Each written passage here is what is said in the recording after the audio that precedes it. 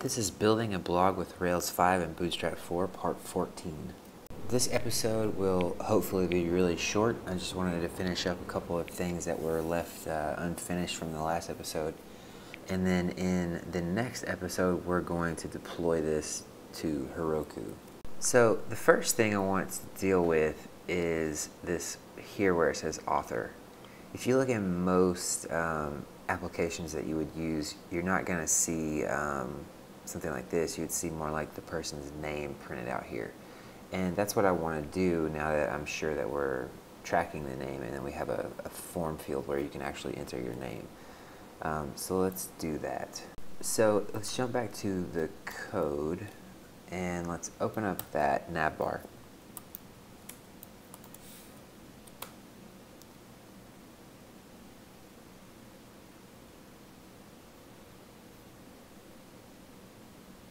First of all, we did not change this here on mobile, but maybe we can worry about that later. Um, yeah, let's deal with that later. We may need to do some mobile revisions in another episode or something. Um, so right here, we could say uh, current author dot name, and that will work sort of. There's going to be a problem if I come in here and I clear my name. Well, I can't clear my name. Um, let me make it so that I can for a second.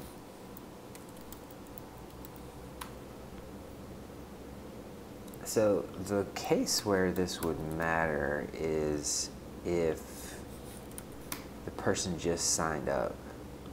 Because after they come in here and they edit their info, uh, we're not going to let them do this. So I just commented that, that validation out for a second so that I could clear that. And I'm going to go ahead and put it back before I forget. So at any rate, now I have a um, blank name.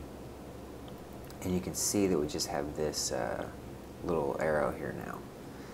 So what I would do is probably something like um, inside the author class, we can write something like display name. And then we can say if name dot uh, present uh, name else um, author. So as a default, so the way you think about if statements like this, um, whatever's in the bottom is the default. So the default display when you first sign up is author. Um, and we could even do something like um, we could say show them the actual ID I need to actually add it in the uh, bar.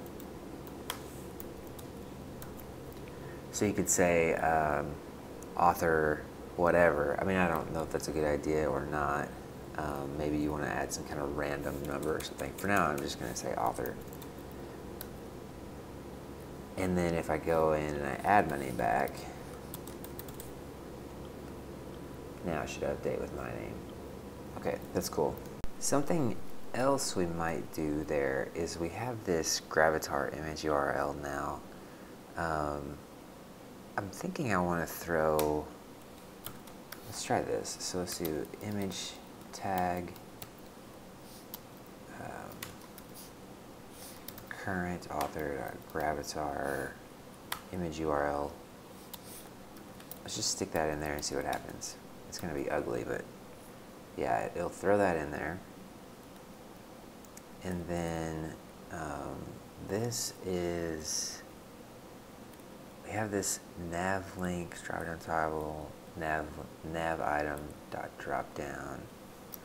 Uh, let's call this author, auth, author nav. Yeah, let's call it that, and then let's open up the, we have a navbar CSS, right? Yep. So, um, I should be able to do dot and author nav here. And I'm just going to do a quick test to make sure that I've got this um, selected correctly. No, something's not right.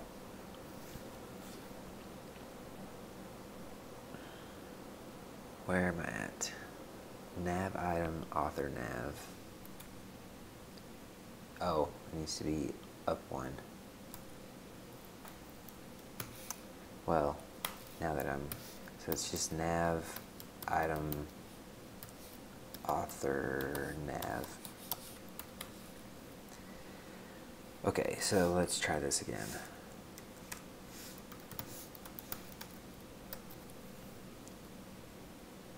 Yep, now we're working. Okay, so I obviously don't want that to be black. Um, so I want the image to be height, let's just do 40 width 40. Let's see what that looks like. Maybe that will inline it better. Um, let's do it with 30.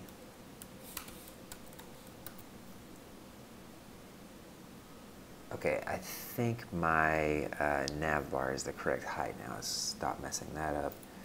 And then we could do like border radius, uh, 50%, which will give us a circle. And maybe I want to, um, yeah, that might be good like that. We might just leave that that way. I could do um, border, one pick solid white. Let's see what that looks like.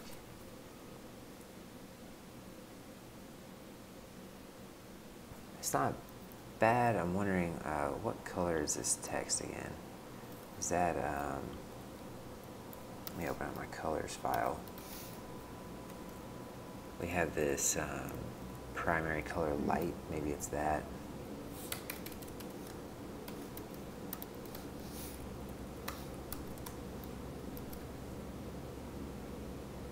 Yeah, let's leave it like that. I think that looks pretty good. One thing I might consider doing would be putting a border and some separation here, but um, I don't think I'm going to do that for now. Well, why not? Let's try it. So, border left, one pixel solid, primary color light. Let's see what that does. Just gonna stick that there. Yeah, no, let's not worry about this. I think it looks fine, and I don't really want to uh, spend a ton of time on that. So the last thing I want to do is go into our post page um, and add the author bio. So we're in the blog section, posts, um, show is where we want to be. And we want to put it in between the post body and the comments. So right here, I'm just going to add some uh, HTML, author bio, we'll call this, and then we'll do like a H4 current author dot name. No, we don't want to do current author. That doesn't make sense because um, if you're not logged in, that would that would be blank, and we don't want that. So that would not be the right thing. So what we want to show is the post author, which we should be able to call because the post belongs to an author. So what we want to do is actually, um, let's see, so we could do an image tag, start like that. Um,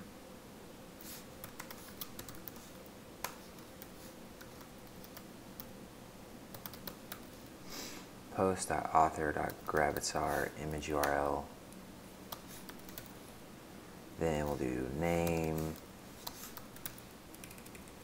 And then maybe we'll do um, bio.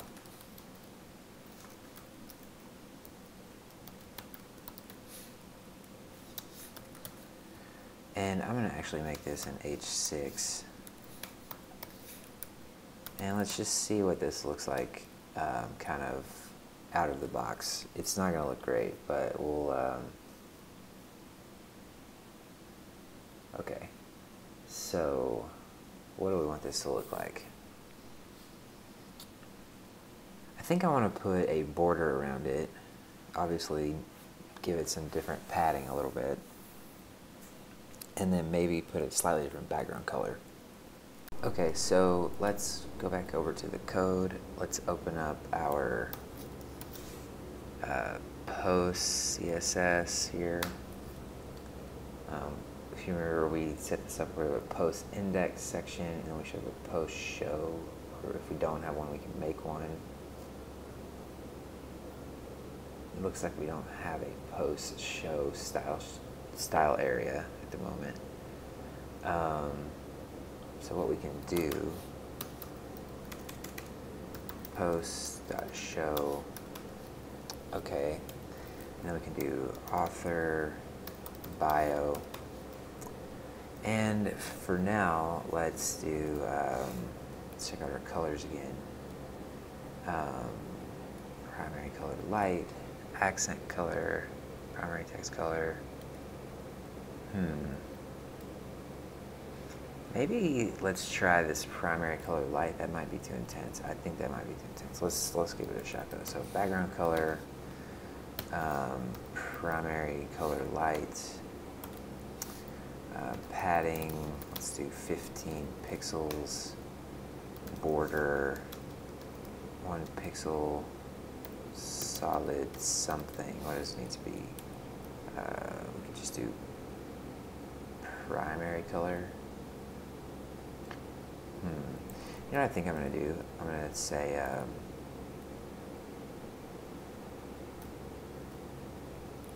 I'm just going to make this white, and then the border will be um, primary color light. Border radius maybe of like 5 pixels. And well, let's see what this looks like.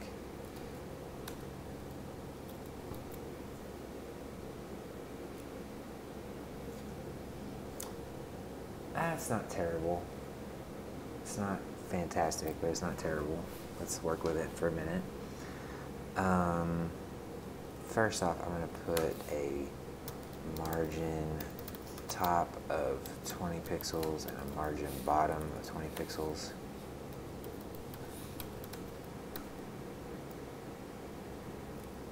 That's a little bit better. Then I want to hit my image again and do margin, or no, not margin, uh, border radius of 50%. I want to get a good circle in there. Um, let's do um, image H4, H6, line height 1.5. Let's see what that does. Yeah, okay, so we're stretching all of that out a little bit. Let's do two.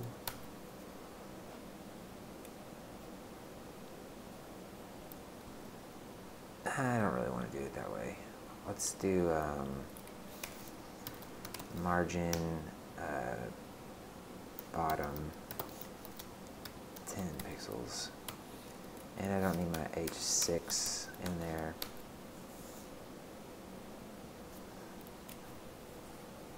Okay, that's getting somewhere. So, off the top of my head, I think I don't like the border radius. I don't like the border. The fonts are doing something a little screwy with me. I think that I want to give this a little bit more padding on the left and right so that this text doesn't span out so wide. And we might want to make the name bold or something. Um, but anyway, let's start with the uh, first two things. So first off, let's get rid of that. Let's get rid of that, and let's just see what that does. It's going to look a little bit better. Yep, that's better already. Then let's, um, let's see. Um, let's look at that H4. Let's do the font weight, bold. Um, let's do padding So I never remember the order of these things, but it could be like padding 15 and then 30, and I think that the first one says top and bottom, and this one says left and right, and I may have that backwards, so let's find out. Nope, I am correct, and I want to do it slightly even more than that, 45. Yeah, I think that looks quite a bit better. Um, I'm going to do on the H6, I want the font weight to be, let's try 500.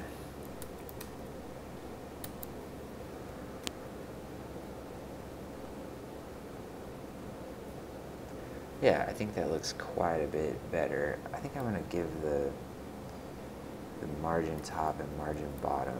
Let's let's actually do what we just said and say margin uh, say 30 pixels and then zero for the left and right.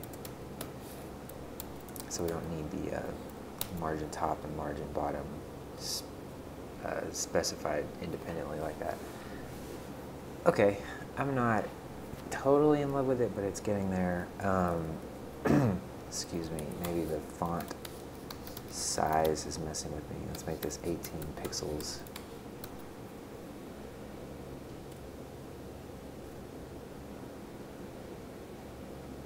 Hmm.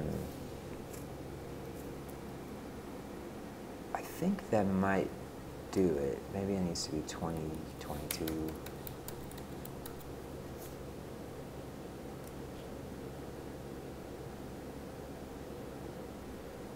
Okay, and I actually think I like that better lighter. Let's see what that looks like. Maybe we make it lighter and make it slightly bigger. Font size 17, 18.